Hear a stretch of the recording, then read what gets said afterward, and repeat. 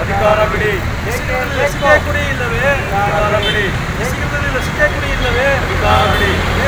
ಬೇಕು. ಬೇಕು. ಬೇಕೇ. ಬೇಕು.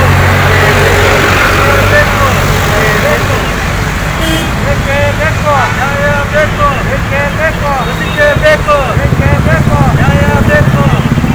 ಲಸಿಕೆ ನೀಡದರೆ ಸಾಯಿಸಿರುವ ರಾಜ್ಯ ಸರ್ಕಾರಕ್ಕೆ ಜನರ ರಾಜ್ಯ ಸರ್ಕಾರಕ್ಕೆ ಜನರ ಕೇಂದ್ರ ಸರ್ಕಾರಕ್ಕೆ ಜನರ ರಾಜ್ಯ ಸರ್ಕಾರಕ್ಕೆ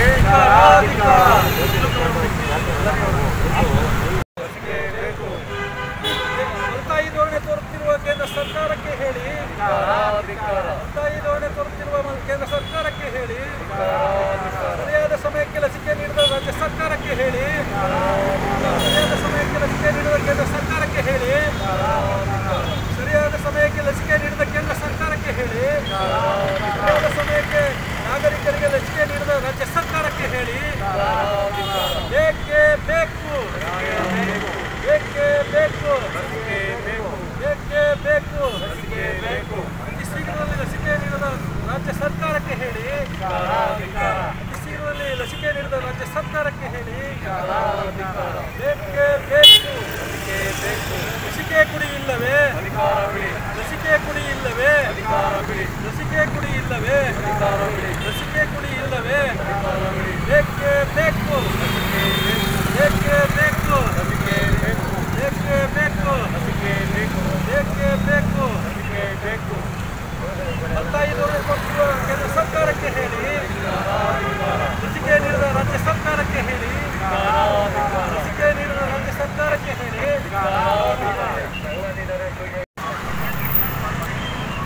ಬೇಕೇ ಬೇಕು ಲಸಿಕೆ ಬೇಕು. ಬೇಕೇ. ಬೇಕು. ಲಸಿಕೆ ಬೇಕು. ಲಸಿಕೆ ಕುಡಿ ಇಲ್ಲವೇ? ಲಸಿಕೆ ಕುಡಿ ಇಲ್ಲವೇ? ಲಸಿಕೆ ಕುಡಿ ಇಲ್ಲವೇ?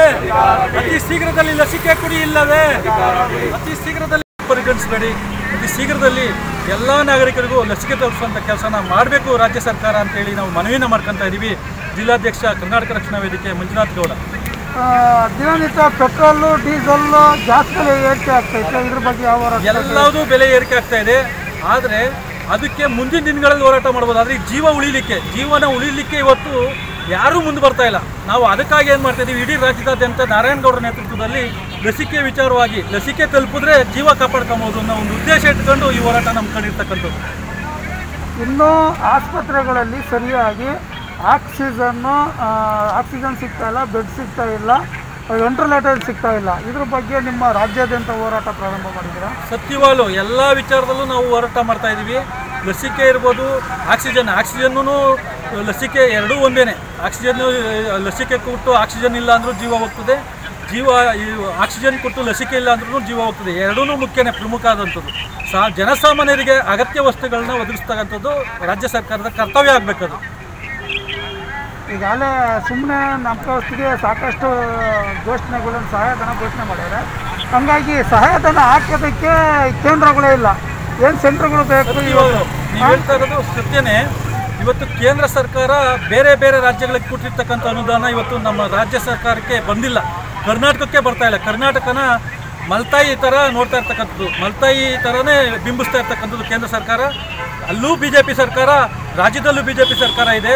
ಆದರೂ ಇಲ್ಲಿ ಕೆಲಸ ಕಾರ್ಯಗಳಾಗ್ತಾ ಇಲ್ಲ. ಎಲ್ಲ ನೆನೆಗುದಿಗೆ ಬಿದ್ದಿದೆ. ಮತ್ತು ಯಾವುದೇ ಒಂದು ಸಾರ್ವಜನಿಕರಿಗೆ ಅನುಕೂಲ ಆಗೋಂಥ ಕೆಲಸಗಳಾಗ್ತಾ ಇಲ್ಲ. ಎಲ್ಲ ಹೊರತ ಬೀಳದೆ, ಎಲ್ಲ ಬೆಲೆ ಏರಿಕೆನೂ ಆಗ್ತಾ ಇದೆ.